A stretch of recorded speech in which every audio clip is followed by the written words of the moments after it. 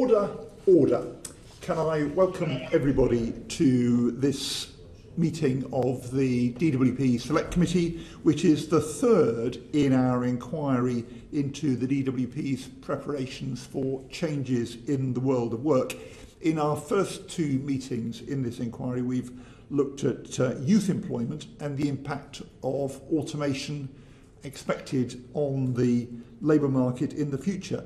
Today we are discussing universal basic income. Now there's a great deal of interest in this subject. We've had uh, emails from over 19,000 people uh, about it and um, I've, I've no doubt there will be uh, many people following our discussion um, on uh, TV uh, today.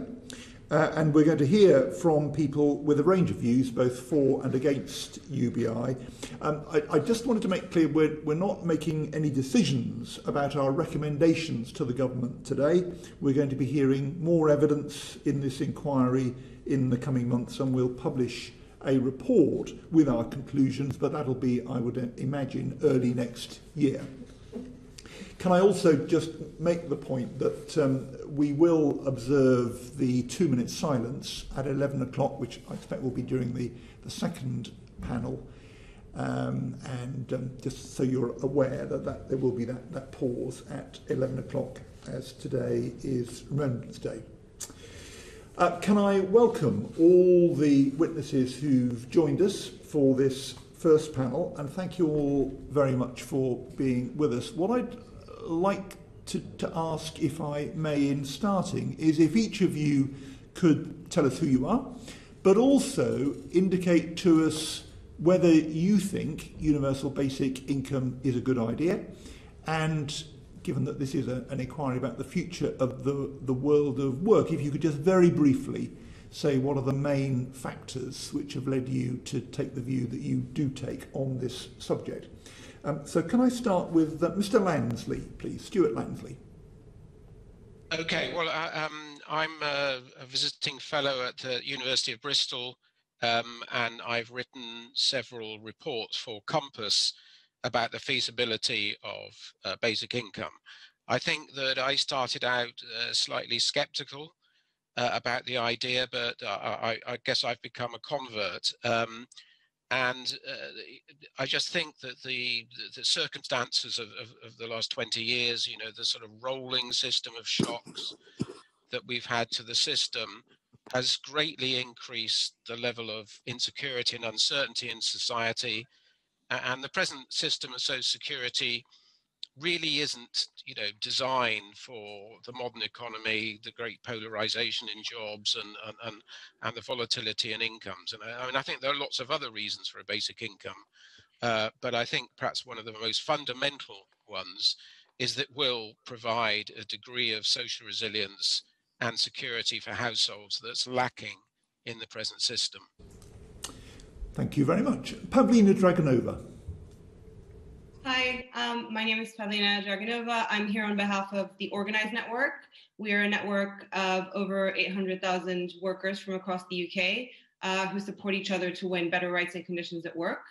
And I will be speaking on behalf of the network, and therefore there's a range of reasons why people support a basic income, ranging from uh, their own personal security and stability. A lot of people have been knocked off their feet by the coronavirus crisis. Um, also, uh, people talk about wanting to volunteer more and spend more time in their communities. And some people support a basic income just because they want to feel like they live in a more fair and compassionate society. So I'll be trying to represent all of these views today. Thank you very much. Uh, uh Professor Peter Alcock. Uh, uh, I uh, was an emeritus professor from the University of Birmingham. Uh, my uh, my academic career has been in social policy, uh, and much of that time has been involved doing research on social security policy and also on welfare rights, people trying to access social security benefits. I'm the, the idea of a universal income is, is an attractive one in principle, but I've always been worried about the practicalities of it, and I remain uh, therefore uh, uh, an, an, opponent of it as a practical solution to the kind of problems uh, that we face today, as in because I'm not sure that they're terribly different to those that we've faced before, albeit that this is a changing world. I have two main concerns about just two broad main concerns about the universal basic income. The first is its economic uh, practicality. Uh, how feasible would it be to introduce it? And the second is its sort of political and policy consequences. Uh, pursuing a, a, universal basic income may come at the cost of other policy priorities, which I think would be much more important uh, uh in, in, the current climate. Thank you very much. And Professor David Piachaud. Uh, thank you. Um, well, I first got involved in uh, basic income in 1967, which dates me, uh, um, when there was discussion about demogrants and negative taxes in the USA. And uh, I'm now, um, uh, long after emeritus professor at uh, LSE, where I've taught most of his, my life. Um, you, you, you posed the question about being for or against UBI, um, I think uh, there's a huge amount of confusion about it. Um, the aim that everyone should have a basic income, a basic command over resources, including healthcare, um, education, uh, housing, um, is not one, well, is one I would very positively support. Uh, the question that the, the, UBI, though, is usually uh, discussed in terms of a particular mechanism and a technique. And even here, there's a confusion between modifications of tax allowances and uh, minor, well, significant but uh, but important, uh, uh, uh, but very modest um, basic income, or what one might call the real McCoy that uh, Milton Friedman, extreme neoliberal. Um, uh, would probably be backing Trump, um, basically wanted to abolish the whole of Social Security uh, with an unconditional uh, poverty level uh, uh, basic income. And that seems to me uh, what, what, what the full universal basic income is. And that, for a number of reasons, seems to me unattractive and, and, and, and impossible. It's it's, it's not a fair system because it makes no distinction about why people um, are lacking income. It, to provide, say, half average income uh, would be cost three times what the uh, social security system now costs because it would basically go to three times as many people, very roughly. Uh, I don't think it deals with the problems of the future of uh, the labour market. And I don't think, uh, when one gets down to it, that politically uh, almost anyone really supports that. So, so I think the whole discussion has been much confused, and uh, um, I can go into more detail about that um, later. Thank you. Well, we no doubt will invite you to do so. Thank you very, thank you all very much. Um, Steve McCabe.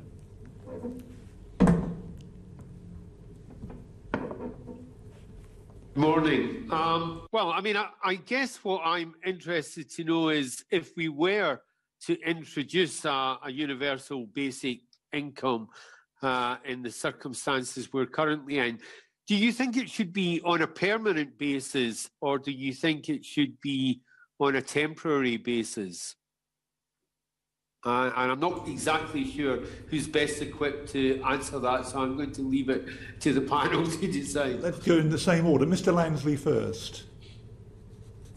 Okay, well, I mean, I think that when COVID broke, um, uh, there was certainly was a discussion about the possibility of an emergency emergency basic income. I mean, yes. the problem the problem was that, that, that, that, it wasn't oven ready. You know, in order to execute a basic income, you need a, a list of every resident in the UK. We simply don't have that. We have lots of lists of uh, of people who are the, the, tax list. We have a driving license list, and, and so on. Uh, and in order to execute an emergency scheme, we'd have had to get government departments to get together and, and produce such a list. Um, so uh, I, I, think we've probably gone beyond the point when when we need an emergency scheme. Of course, of course, the government could have done something. Uh, they could have put up child benefit. Um, child benefit is a basic income for children, and it's known to be a very powerful uh, instrument against poverty and they could have put it up by a sort of modest amount, ten pound or, or something like that, and that would have done, you know, a small amount to protect families. Um, so, but I think if if we imagine that a basic income had been in place at the beginning of this year, it would have been a very powerful instrument for dealing with this kind of shock. I mean, we we've had this succession of devastating shocks over the last 30 or 40 years. You know, we, have had deindustrialization, we've had globalization, we've had austerity, we've had, you know, the robotic revolution, and now we've got uh, COVID.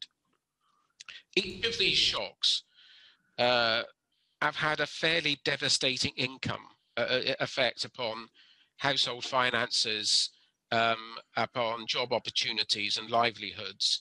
And it's really shaken up each generation of significant proportion of the workforce. Now, if we'd had COVID, if we'd had UBI at the beginning of this system, it could have been used as a as an automatic mechanism for providing a, of, a degree of protection. So I think that you know that these shocks are not going to go away. So I think the debate now should move on from uh, the idea of an emergency scheme to a permanent scheme. And what we really need to be looking at is uh, what kind of uh, scheme would be feasible to overcome some of the objections that you know Dave, David Piachaud and and and, and, and, and Peter and others are are, are, are aiming at, uh, at UBI. Okay, thank you very much, Ms. Dragonova. Um, so I can't speak to the idea of a permanent basic income. However, we asked uh, members of the network whether they thought it should be a temporary or a long-term measure. And overwhelmingly, out of over 8,000 people we asked this question to, over 80% said they thought it should be a long-term measure. And the reasons they gave for why they would need a basic income were also long-term reasons. Um, I'm going to quote a few people now. Um, so in terms of security and stability, a lot of people said uh, it would offer them a baseline to get back on their feet. And some of these reasons were crisis related and some of them weren't. So James from Oxford said, it would make a huge difference to my stability and health. The recent pandemic has been a huge hit to physical and mental health. I was working as a nursing assistant in infectious diseases and I caught COVID. Then the stress brought on a relapse of depression and I had to leave my job. A basic income would allow me to focus on getting and staying well take a lot of stress off my shoulders, and eventually give me the stability to focus on retraining and gaining new qualifications. So, part of the reason people need a basic income is to kind of weather them through the crisis. But also, a lot of people talked about um, being able to spend more time caring for vulnerable family members, volunteering in their communities, um, training to be magistrates, for instance. There's a big shortage of magistrates in this country. Um, so it would also unlock the potential of people to be able to spend more time doing other kinds of socially valuable work, which is, again, a long term concern. Could, could I just, could I just ask if it is to be a permanent uh, replacement for the existing welfare, how, how much would it cost to introduce and how long would it take to introduce it? Um, so I think we're going to get to that question later on in the debate in terms of specific rates. There's different mm. uh, models. I believe that the model that Stewart is advancing is not a replacement for the existing welfare state, but rather it's a minimum floor that sits below the existing okay. welfare state and is similar to child benefit, and that it's just a secure amount of money that you get each month. Okay, sorry to interrupt. No worries. Um, yeah, and finally, there was kind of these uh, wider concerns about who we are as a society and as a country. Um, Ted from Oxford said, I don't think it would change my life, but it would reassure me that I lived in a society that could function more fairly and justly. And we had a lot of people also saying, it wouldn't really impact me monetarily. I know I'd have to pay more tax in order to enable this to happen, but I just think it's the right thing to do. Okay. I wonder, Professor, Professor Alcock, you've indicated you you, don't support the measure, but do you think in the current circumstances with the pandemic and so on, there, there, there was a case, there would have been a case for adopting this temporarily? Uh, uh no, I don't. Uh, partly for the reason that, that Malcolm was outlining before, it, it, would be difficult to do it on a temporary basis because of the logistics of, of getting it up and running. Um, that, that of course is not a, a, reason for not doing it in principle, but a, but a, but in an emergency you need something that's an urgent response, and it isn't there to do that. but also I can't really see the logic of having a, temporary basic income. The, the, primary arguments for it, as indeed were just being uh, articulated, are to do with the way in which it may change society, uh, and that's a, that's a long-term change. Uh, but, but whether it were temporary or permanent, it seems to me that the problems about determining the level, how much it would cost, uh, and whether it really would uh, lift the people uh, who need protection uh, from poverty out of poverty uh, remain the same questions. and I still don't think that a basic income has a, the proposal, proponents of a universal basic income have an answer to those questions because they're practical questions about how you deliver it. Professor Piachaud, anything to add? Uh, well, I, although not generally in favour of universal basic income, I agree entirely with what uh, Stewart Lansley said about uh, raising child benefit, because that's a universal benefit, which does seem to me uh, targeted at um, predominantly at, at, those who've got the extra costs of, of, of, children and, and raising it in the circumstances of the uh, COVID um, situation would seem to be very sensible, but but uh, having it generally doesn't seem to me to to fit the circumstances in which many people's jobs uh, uh, have continued and, and and their earnings are, are, are unchanged, but many very many uh, employed and particularly self-employed people have lost income so that something that is is is targeted at the circumstances seems to me far more uh, efficient. But in the long run the fact that the tax system and the social security system barely communicate with each other uh, and that, that, that basically government doesn't have any means of uh, uh, accessing the whole population efficiently is is is um, um, puts uh, the UK rather behind uh, Indian developments, um, so that um, so that that a, an ability to respond effectively to to changing to, to a crisis uh, is is very limited. Thank you. But I don't think a universal basic income would would uh, it would provide some sort of framework but um, but it but it, it wouldn't have been particularly fitted to the, the, the present crisis. Okay, thank you, Steve. Did you want to come back on that at all? No, I think that's that's fine, Chair. Thank you very much. Thank you very much, Siobhan Baillie. Thank you, thank you all for, for joining us. Um, I think because if you ask people, and sort of we knock on a lot of doors uh, with our weird hobby of politics, and if you ask people, it's a good idea if the government should give everybody cash uh, the answer is usually yes. And if you ask people if they want to pay extra taxes for social good, the answer is yes. But then if you start asking them whether they think MPs should get extra cash from the, uh, or, or CEOs of companies from the government, it would be a no. And we know that parties that propose even hypothecated taxes, uh, elections don't, don't often uh, prosper. So I'm, I'm really interested in a sort of an honest look at the disadvantages of, of UBI and, and the reality that not everybody needs a basic income um, and, and how uh, there would be a justification for providing that, um, that, that income a, a, across society even when there, there's no need. Uh, Mr Torry, do you want to start on that?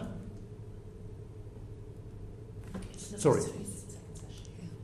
Mr Lansley, apologies. Oh, okay. Um, Yes, I mean this. This is one of this is one of the you know sort of uh, regular criticisms of um, a basic income that it would go to everybody, including the rich. Um, I mean, uh, the, the, the, the concept of universalism, either everybody is entitled to something, is embedded in the welfare state. So we have, you know, lar large sections of the welfare state that go to everybody: the National Health Service, education, you know, uh, and child and child benefit, although it's now taxed back from from higher tax payers. And the reason for that is that um, the, the, we want to give equal access to everybody to sort of absolutely basic services, uh, and, and these have been, you know, incredibly effective. You know, the National Health Service education system been very, very effective of creating a, a level playing field um, for health. Child benefit uh, uh, has been very, very effective instrument uh, against against poverty, um, and and and the, the, the, the, what's happened to the social security system over, since the war is that Bev- Beveridge always intended the, the social security system to basically be based on national insurance and that national assistance, the means tested bit, would be residual and would eventually die out. In fact, we've had exactly the reverse of that. You know, we've had a great expansion in means testing and we've had uh, a reduction in universalism. And I think one of the big cases for a basic income is that it would try and correct that balance balance a little bit um, it, it, it would be um, uh, restore an element of universality. And we all know the arguments against means tested and the arguments for universality. Um, but but but the, the, the, other thing is is I think we have to recognise that it's not just low income families uh, that um, are subject to the effects of COVID and technological change and all these things that are happening at the moment it's moving up the income scale. So a lot of people who've lost their jobs, who, who, who, are suffering from volatile incomes at the moment, are in the middle income groups, and some of them higher income groups. And, and the effect of automation will also affect people on middle income groups.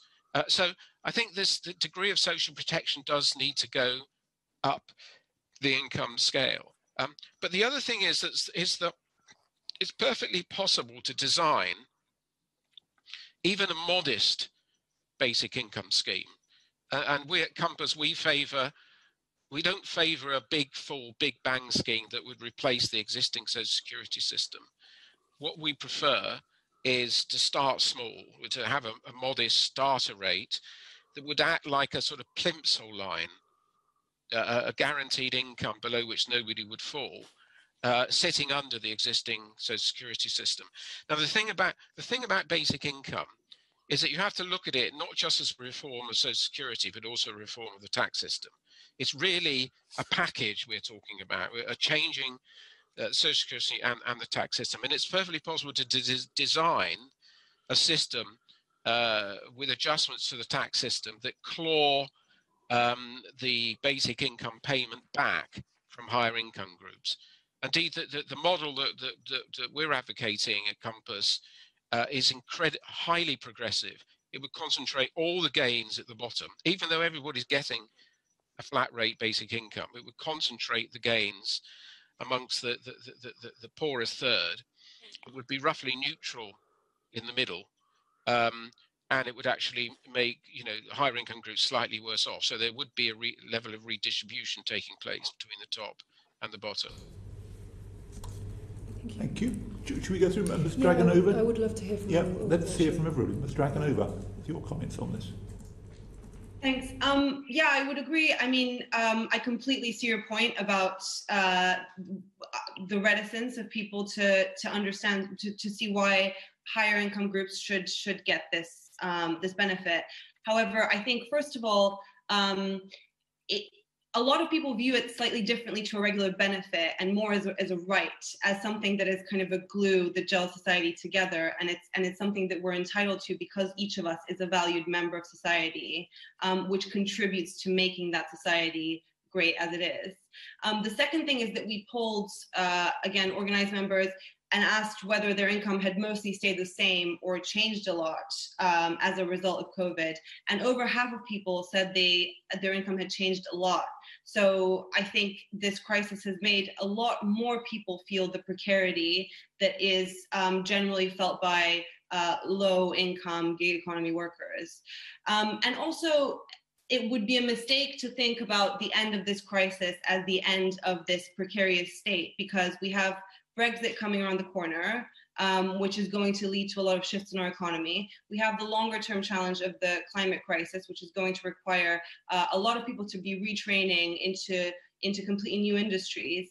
And for all of these issues, um, we need a stronger social safety net, which enables people to change jobs, change industries, weather these crises without uh, being worried about how they're going to put food on the table. Professor Alcock. Um, it's interesting. What, what's entered the discussion now is some distinction between what's sometimes referred to as a partial basic income and a universal basic income. Uh, and I think the question about who deserves or what the consequences of paying these benefits uh, would be are slightly different depending upon whether you whether you're talking about a universal or a partial basic income.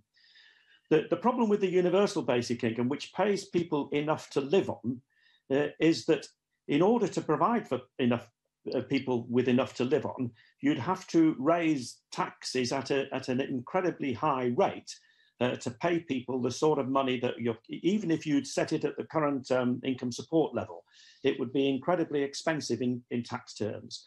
And of course, it would pay money to people who potentially could then do nothing. And there's a moral question, which we might return to later, about whether we should be paying uh, people to do nothing. Uh, and and, uh, and whether uh, uh, not make any contribution to the society in which they live. If you pay a partial basic income, and that is a, a, relatively small payment to people, which I think is what Compass and some other groups have been proposing, uh, I suppose my main concern about that is it's neither fish nor fowl it doesn't actually give you the benefits of a universal basic income because it isn't enough for people to live on. So consequently, you need to retain all of the existing social security system in order to uh, support people, uh, uh, those people who do need support uh, at a level to keep them out of poverty. Or, uh, and therefore, you're not making any significant change to the to the infrastructure of social security and taxation. And yet, it will cost an awful lot of money to implement that. The transaction costs of taking money off people and giving it back to them uh, is unnecessarily high. Now, I'm a strong proponent of the redistribution of wealth, and I think we do need to try and move resources away from some of the people at the top who have far more than they need towards people at the bottom who have much less than they need. Uh, but a basic income is not the best way to do that. Uh, and it wouldn't be the best way, I don't think, to win support for those kinds of changes. Thank you. Professor Piachaud. Uh, well, I very much agree with, with what uh, Pete Alcock's just said, um, that, that, there are attractions to a, a, modest partial basic income, but I don't see it as really a, a first step towards a, a much broader system uh, for, for, for, a number of reasons. Um, and, and, and really one has to compare uh, a universal basic income with, with social security. Um, uh, now, part of the problem of social security is it's very complex, but um, taking account of, of, of housing costs, uh, of uh, um, living arrangements, um, uh, how people are clumped together, um, taking account of people's disabilities, but but those are real um, factors which affect people's uh, needs, um, and and and it's very difficult to get away from all of that. But most fundamentally, that that that, Social Security, the biggest government program there is, is is very efficient. It tags the groups that it aims to help: the retired, the disabled, uh, children, um, and unemployed people and and it's it, it's perhaps on unemployed people that the issue becomes most focused because because the advocates of uh, UBI want that to be entirely unconditional. Uh, in the literature, this has got focused on on surfers. Um, should should uh, MPs, for example, be free to um, chuck in their jobs, um, uh, demanding as they are? Um, uh, and and simply say, well, I, am not going to do anything for society anymore. I'll I'll just surf, but I would like to enjoy an adequate basic income. And uh, I, I, I puritanical, retaining the work ethic, if you like. Um, but I think, in line with most people's views on this, don't think um, people should be uh, entirely free to do that unconditionally. Unemployment benefits have conditions attached. Uh, they have some sanctions, which may be unduly harsh, but um, but there are conditions, and and and simply to say everyone, completely regardless, is free to get an adequate income to live on, uh, is not something which I think many people, when it comes down to it, really support, and and uh, and I don't. Thank you. Siobhan. Thank you. It's, it's really helpful to sort of touch on the um, justifications for unemployment because I, I, you know, all of us here are on this committee because we want to improve the welfare system, we want to find gaps and we want to uh, make universal credit, for example, work better. And I do think that would help meet the job losses that unfortunately we're seeing at the moment. But we've been really looking into the future of work and we know that many projections rate, uh, relating to the future of the labour market um, suggest that technological developments like automation are going to create more jobs than they replace. Um, so not necessarily leading to the mass displacement of workers that, that is sometimes being feared about automation. Um, it, it, have you looked? Uh, can I ask us one of our, one of our detractors and one of our um, uh, one of our uh, supporters of You know, have you looked into that side of things? And and and on that basis, do you still think that there is um, uh, any justification for UBI? I think Professor Alcock, if I could start with you. Sorry, just repeat the, the last bit of the question. Yeah, what? So because because the the projections of the future of the labour market, we think that automation is actually going to create yeah, more yeah, jobs. Yeah. You, know, have, have you looked at that, and, and does that change your views? Well, well, to be honest, I haven't uh, I haven't done uh, any research work on the likely impact of automation. But I know it's been advanced as a, as a reason for the universal basic income. The, the logic being, as I understand it, uh, that, uh, and to some extent, of course, we already live in this world, as, as, as robots and other forms of production are able to take a, to, to replace the jobs that human beings have done, then there will be fewer jobs for human beings and therefore less need for people to work to do them. I do think, however, that argument has been massively overplayed. For a start, there are an awful lot of jobs that automation will never replace. Uh, they've just been round em- uh, down our street a little earlier emptying the bins. I, I, I, can't see that being replaced. And of course, there's much more, uh, well, uh, emptying the bins is important, but uh, care work, uh, work in the health service and work in education.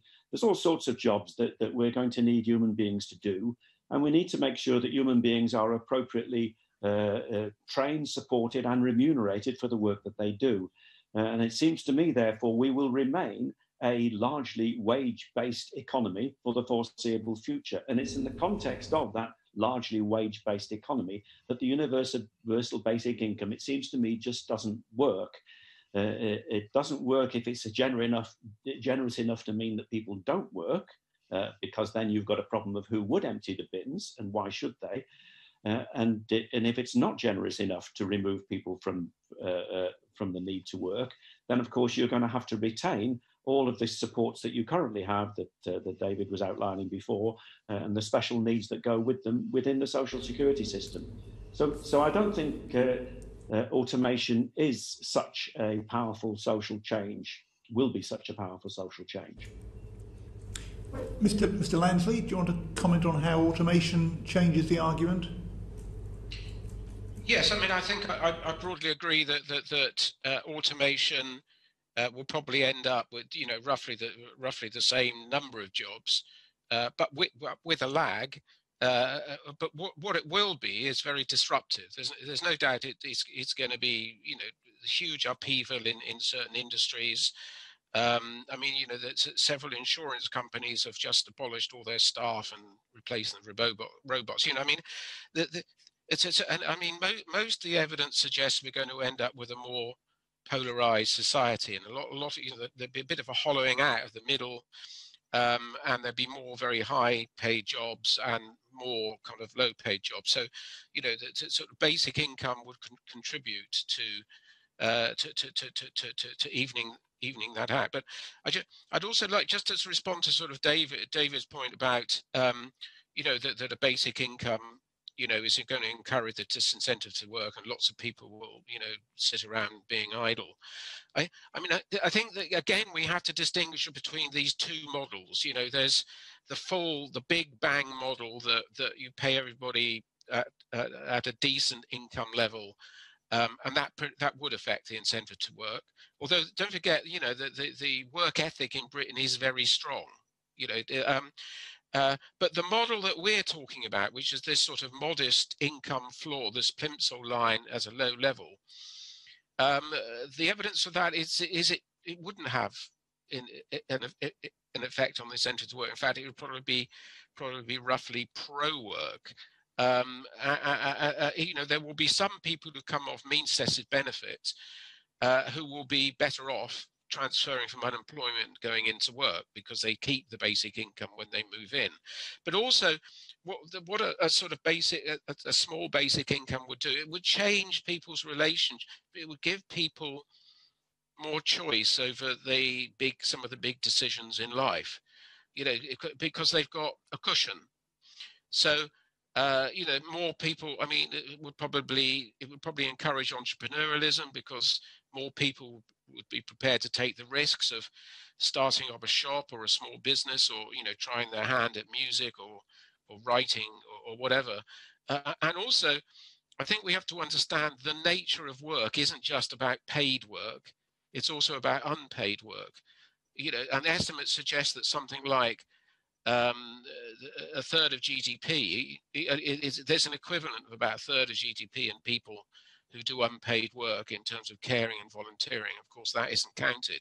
And this system might actually rebalance um, it, it, it, slightly towards that kind, kind of work. It, it, it could be a charter for caring and volunteering. So I think if we're talking about this basic income floor, um, these arguments against um, because it's going to encourage idleness is are much much weaker. Okay, thank you, thank you very much, Sir Desmond Swayne. Um, I put it to you that um, unemployment can behave like any other commodity, namely, the more you pay for it, the more you will have of it. If people can have an adequate income uh, without going to work, why would they trouble themselves with going to work? Even the best jobs involve all sorts of hassles and stress uh, and travel uh, and disincentives.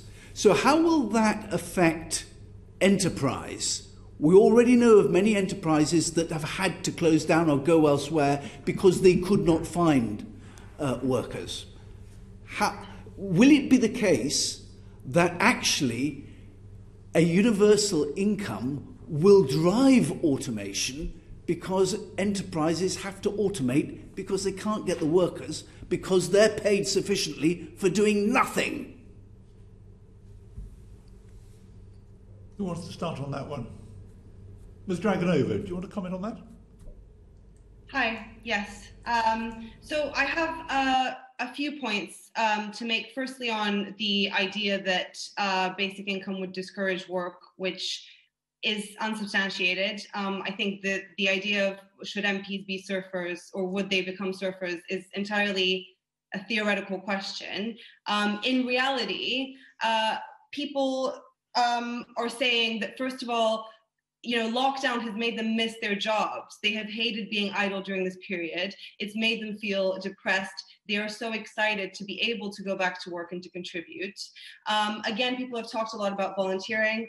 Um, Claire from Devon has said, if I got a UBI, I would work part time and spend the rest of the time volunteering as I do now. I helped plant 2,200 trees last winter, and I plan to do more this winter. To argue that UBI makes people in, uh, indolent and lazy is incorrect. Look at the number of people who have stepped up to volunteer during COVID when they didn't have to work. So I do not believe that uh, people will stop working because they receive a basic income. What we are seeing is people unable to work because of the mental and physical health impact of the constant financial stress they're under. So, a lot of people talked about um, saying, My financial situation right now is a question mark. Uh, my financial situation is so erratic that it's difficult to plan anything. Um, I'm under continuous stress.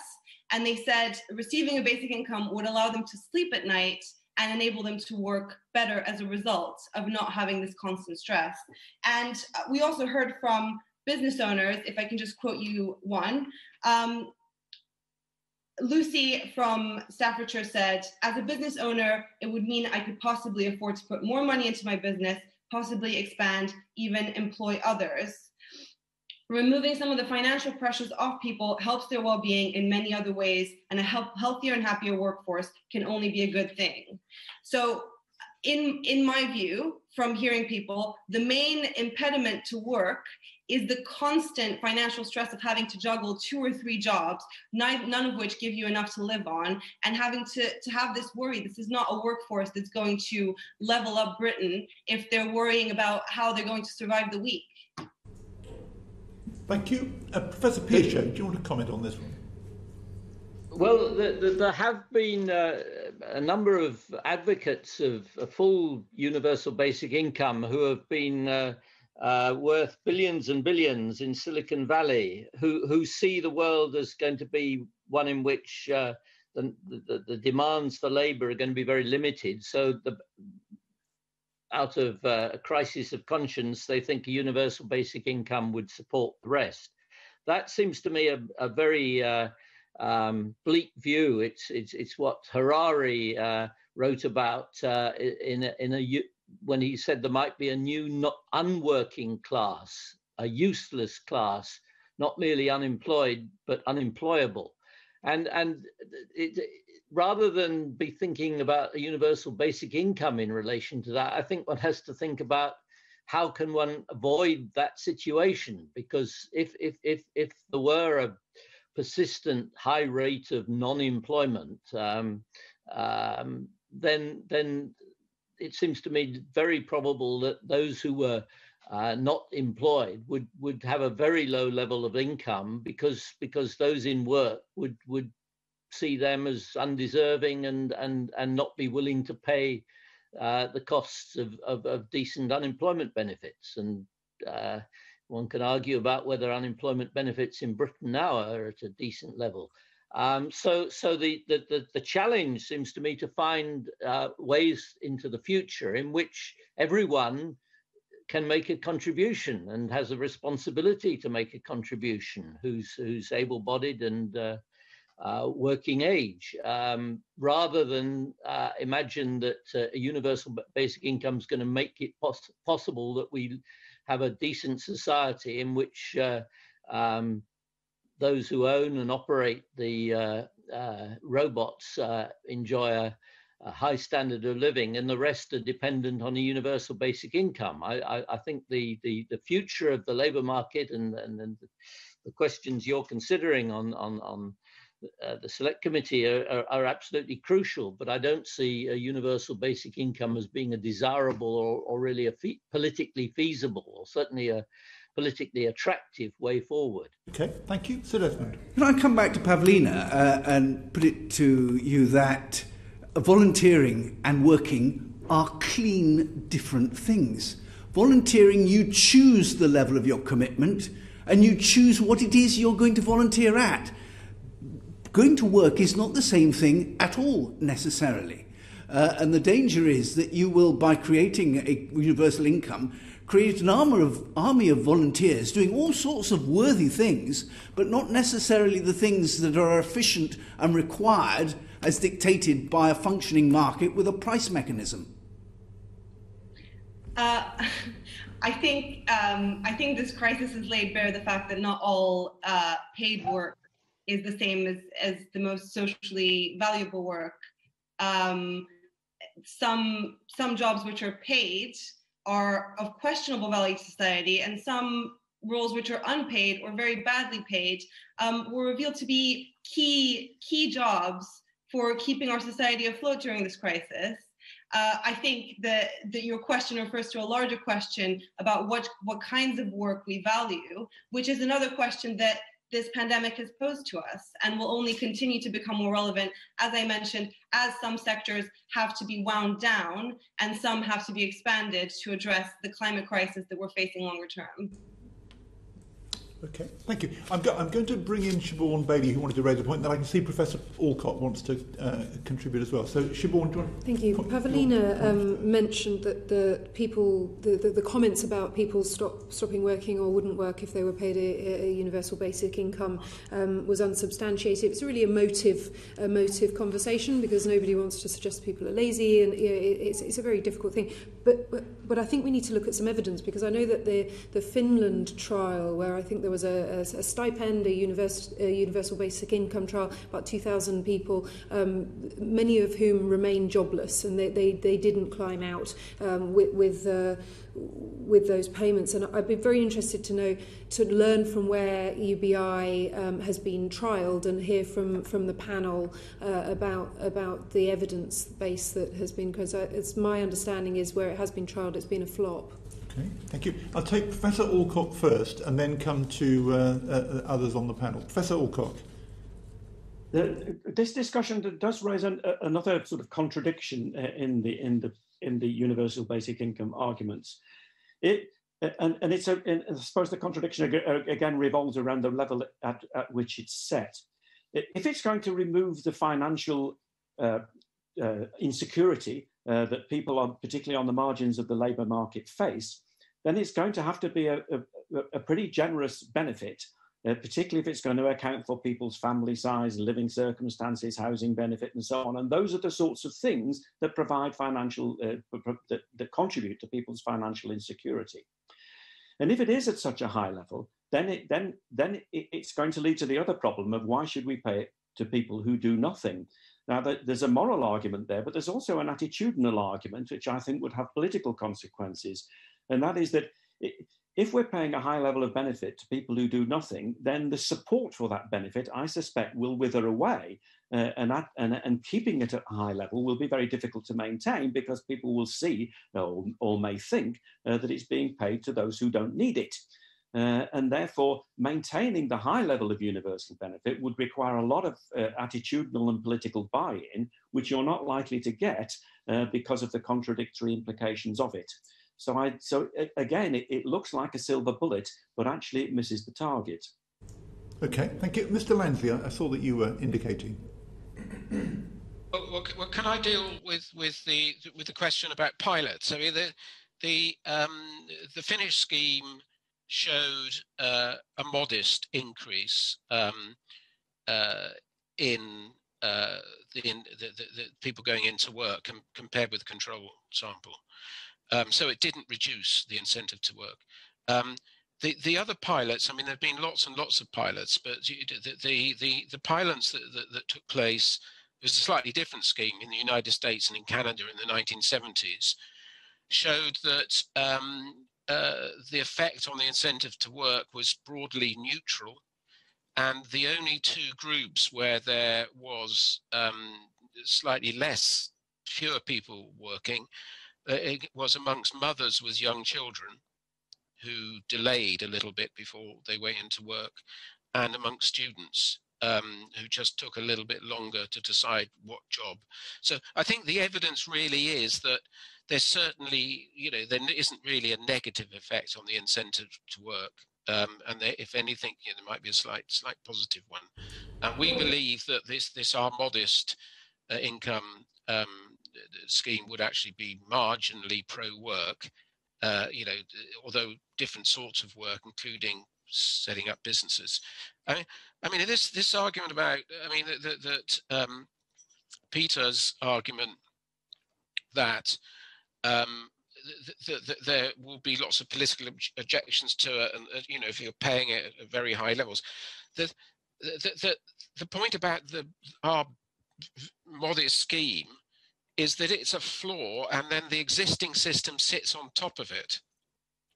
So it in, so you still, you know, some people will still get means tested benefits and so on. So it and, and, and you know the, the, the simulations we've done show that it does significantly increase the incomes at the bottom while clawing it back from the top.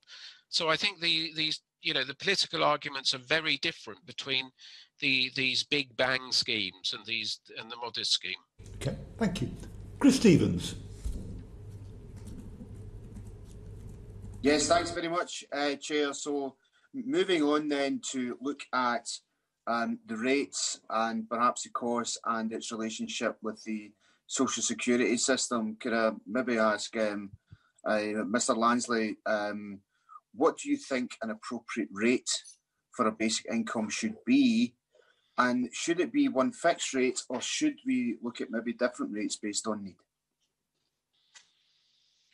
Well, I mean, the, the, the, the, the, the, we, we've modelled um, quite a lot of different schemes at different rates, at sort of high rates and, and, and more modest rates. And we found that it's extremely difficult to get um, a scheme with high rates to work.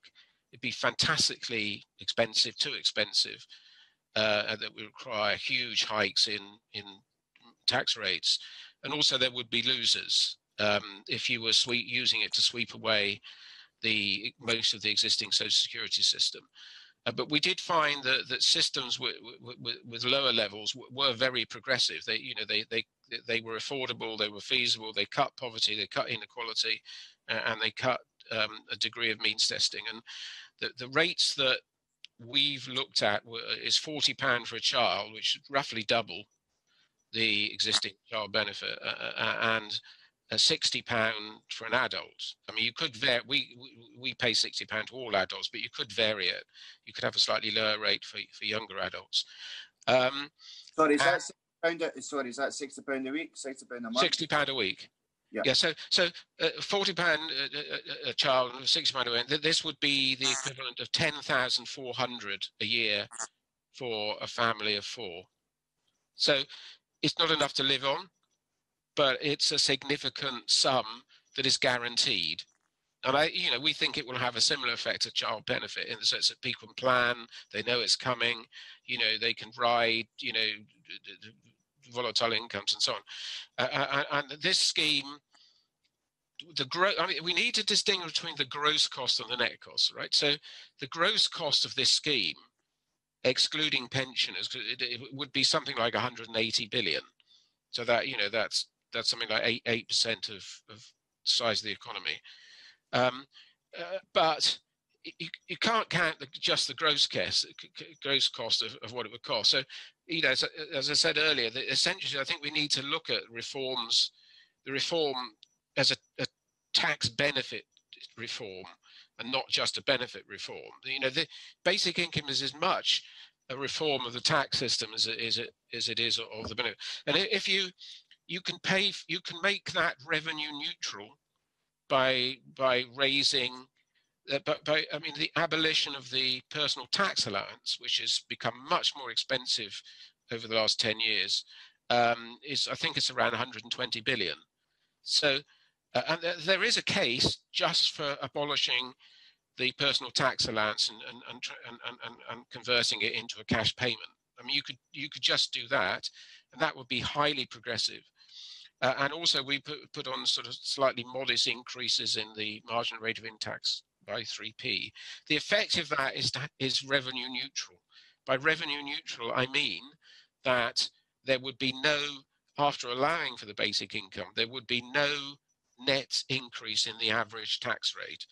So you, so um, if you wanted to, you could do it more cheaply. You could have slightly lower benefits, or you could have slightly higher benefits. And we believe you can start small and move over time towards a, a more generous scheme, and we think we think that is um, perfectly feasible and practical. Okay, thank you. I, I can see, uh, Chris, can I just interrupt? I can see the Professor Piachaud wanted to just come in. Can I take him first and then come back to you?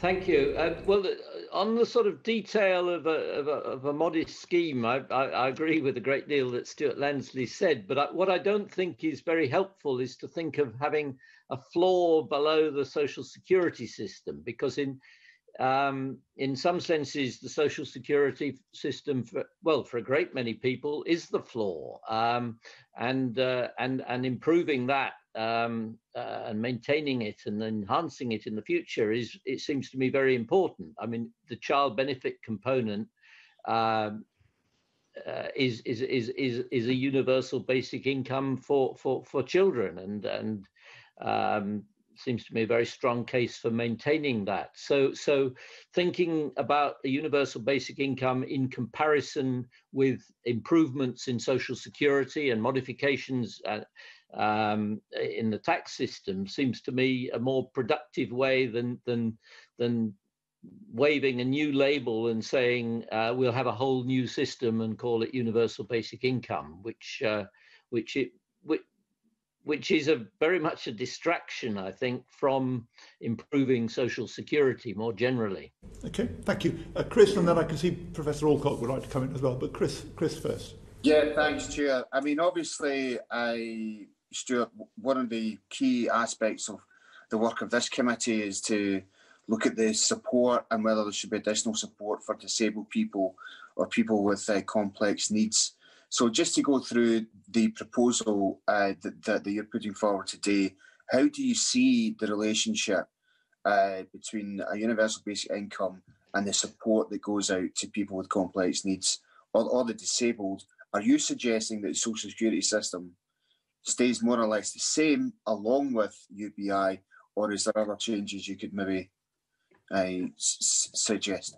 Okay, that's for Mr. Lansley and then Professor Alcock. Mr. Lansley first. Yeah, yeah, we're proposing that it's grafted on to the existing social security system, uh, so the rest of the system stays intact.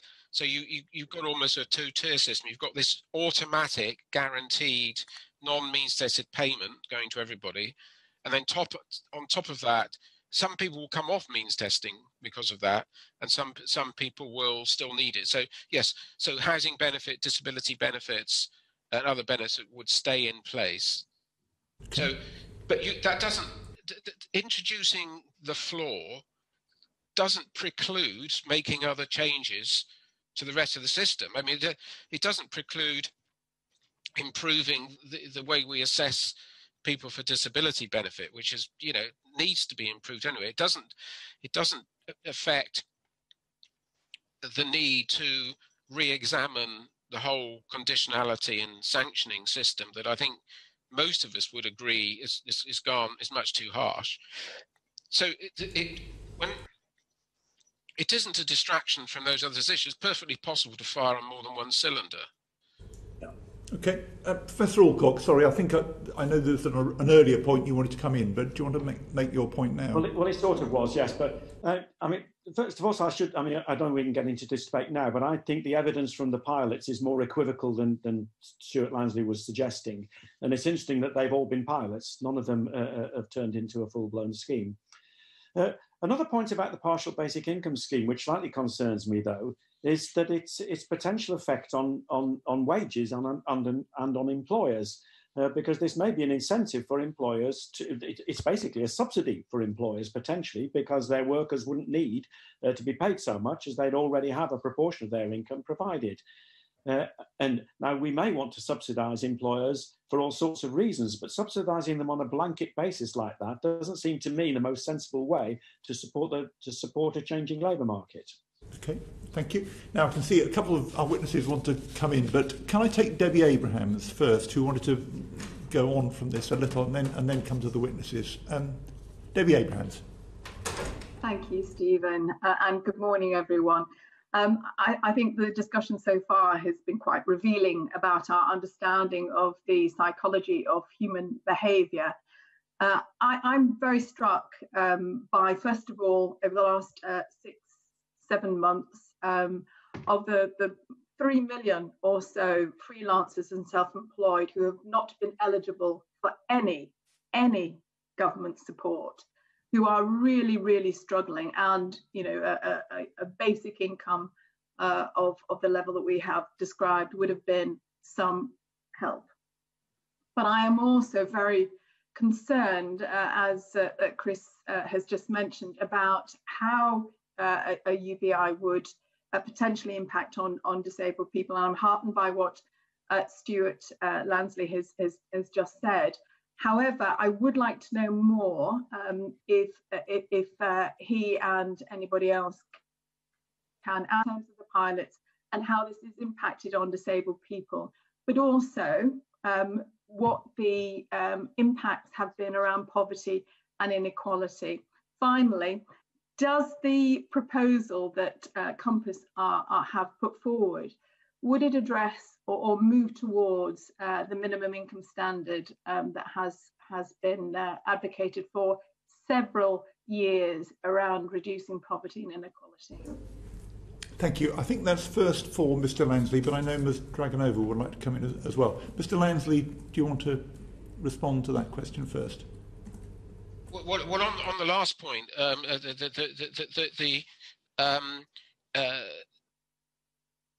so under this system, some people will rise to the minimum income standard automatically.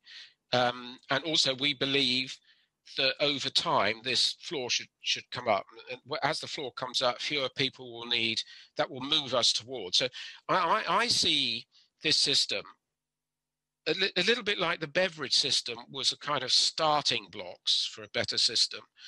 Uh, and you know, we over time it was improved. I see this as a sort of starter block, you know, for building a better system for the future. So as there's very much the next generation that would benefit. So I could I see over 20, 25 years us moving towards a fuller basic income scheme.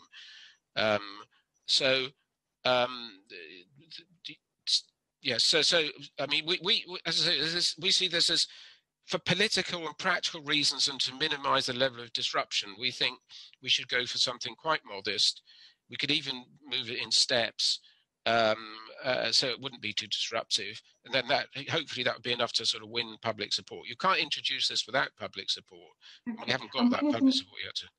Sorry, winners and, and, and, losers, Stewart. So particularly focusing on um, disabled people who have been hit so badly over the last decade who are really, really struggling?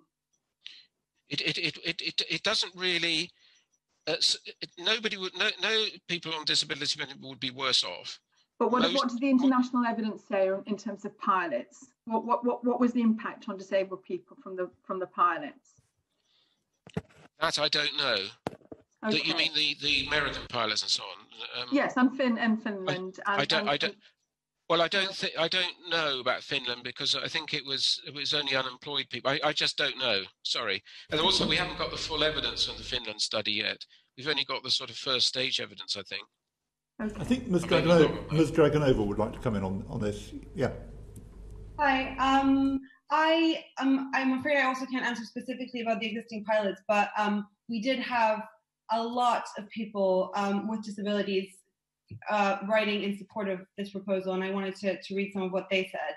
Um, so uh, Ross from Devon said, as a long-term disabled person, it might make it possible to work a little when my health allows. At present, a lot of disabled people won't even volunteer in case that is seen as an ability to work permanently. So this is a comment on how the existing system discourages kind of it, it, doesn't allow for this kind of flexibility that a lot of people actually really need but, uh, but I could also, Pavlina, uh, provide you with, with evidence from from uh, disabled people's organisations, which are saying contrary to that. So I do think when we are working forward, we need to make sure that we are looking at who are the winners and losers, recognising um, those are the most most vulnerable we need to be lifting up and and and and, and not actually making making it worse I, I completely agree. I would say to that, um, and in response also to a comment about how UBI is a silver bullet, it's we're I don't think anyone here is arguing that this is a silver bullet or that it will um, by itself solve all of the issues that we have with poverty and inequality. Um, it it we i think we're arguing for it as part of a system of measures which doesn't currently replace the rest of the welfare state but provides a minimum floor which helps to address some of these issues. Um, so I'm, i think that i hope helps alleviate some of this thank you. Thank you very much. And Selaine Saxby. Thank you very much chair and good morning. And I, it was really I, at the very start professor Piachaud spoke about the cost of the UBI compared to the sort of the current public expenditure. And I was just interested in investing that gating that just a bit further um, and in each of your views how much would ubi cost compared to current public expenditure on welfare please professor Piachaud, are you able to comment on that well well broadly speaking that that roughly a third of the population is on uh, on on social security in one way or another. Um, uh, and and if you were to give a, uh, a, an adequate minimum to everyone as a universal basic income, then it would the gross cost would be roughly three times as much. I mean, it would be just a colossal increase, and nobody here, uh, Stewart and um, Pavlina, aren't, aren't, aren't proposing that, but but that it seems to me, if that's if that's what people are holding out as a long-term desirable thing, I think one should be aware of the the the the, the, the cost of it, which which is quite enormous, and and uh, improving disability benefits, for example, um, is is a tiny fraction of that. So is so so is targeting on on children through universal child benefit um, is a is a very small fraction of that. Um, so so looking at, um, I mean, I would slightly dispute what Stewart Lansley said that the Beveridge scheme has been improved as it's gone along. I mean, in, in, in a lot of respects, the benefits have declined relative to uh, earnings levels. Uh, um, there have been some extensions in the, Beveridge said very little about uh, disability benefits and disability co- cost of costs um, uh, at all. Um, in fact, those who'd never been in the labour force weren't really included in his scheme at all. Uh, so they were still dependent on national assistance. So there's been some improvements there, but but but but basically the social security system is is in need of a of a of a revamp and and and uh, enhancement and uh, and and uh, focusing on that seems to me more important uh, than on uh, inventing a new scheme. And just just in relation to some of the trials, it's it's the pilots. No one has ever piloted a full universal basic income. The Finnish one was focused on long-term unemployed only. Um, uh, and and and some schemes in some countries have been externally funded, and if you if it's externally funded, then some people gain from it. There aren't losers or apparent losers. Um, uh, but but were it to be a major redistribution, that that that uh, paying this uh, to everyone rather than to the targeted um, social security recipients would uh, I mean, obviously one can accompany it with tax changes, but um, but but the, the, just the net effect of paying everyone the universal basic income would would would be uh, not at all redistributive. It would be giving benefits not only to those who now get social security benefits, but uh, uh, the universal benefit to everyone. So that would have to be clawed back. Um, so the cost is is potentially colossal of that. Okay. Thank you. And therefore, I... it's sensible to consider some of these partial schemes. I can see Professor Alcock wanted to come in on this as well. Well, just on that last point, I think I think we're all agreed that the cost of a uni- of a of a, of a, a full universal benefits scheme would be colossal, colossally and, and impractically expensive. But I'm also worried about the cost of the partial basic income scheme, which, which appear to be uh, uh, revenue neutral and, and perhaps in one sense can be, but do involve some inevitably involve increasing taxation. And it seems to me that if we are going to make the case for increasing taxation, a case uh, which, which would have my support, I should say, it seems to me there are other priorities than shifting money around between people who already have it uh, within the existing distribution of resources, because we're not going to make Social Security any more generous on this partial basic income scheme. Uh, it seems to me to, that we, if we want to raise taxes, then uh, I would look at things like the National Health Service, the Education Service, uh, uh, uh, and, and, care, and support for social care as much greater priorities in current circumstances than providing a minimum £60 a week payment to everybody, uh, some people of whom won't need it and it won't make any difference to them. Uh, and for those people who do need it, it won't be sufficient to live on. Okay. Mr. Lansley, did you want to comment on this, the cost point?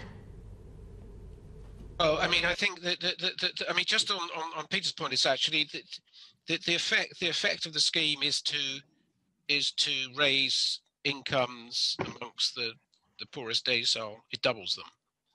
So it's, it's not it's not this minimum sixty. You know, it, it's combined with the existing system.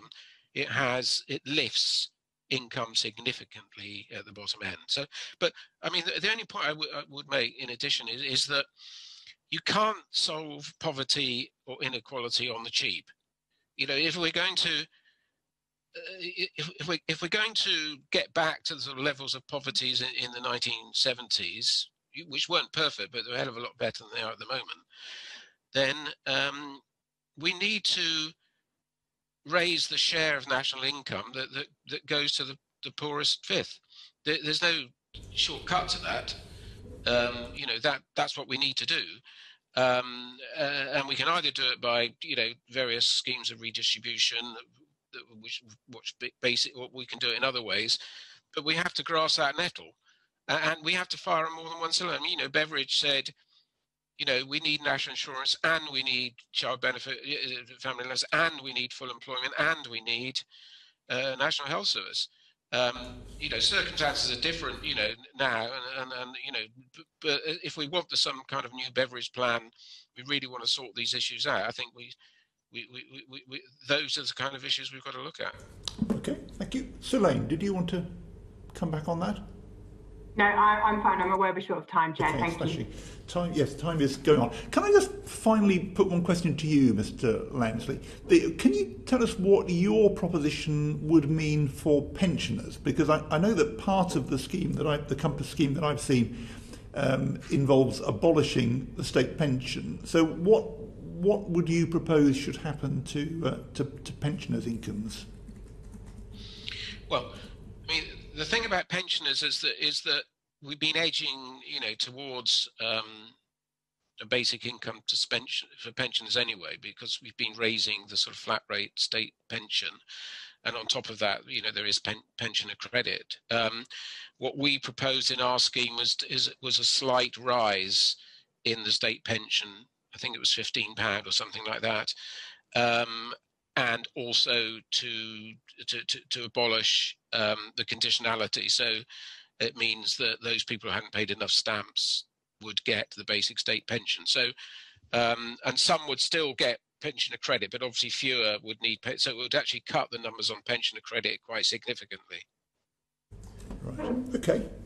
Thank you very much. Well, that brings us to the end of our first panel session. Thank you to all four of you for being willing to be with us and for a very, very interesting discussion that uh, we've had and very interesting uh, perspectives you've all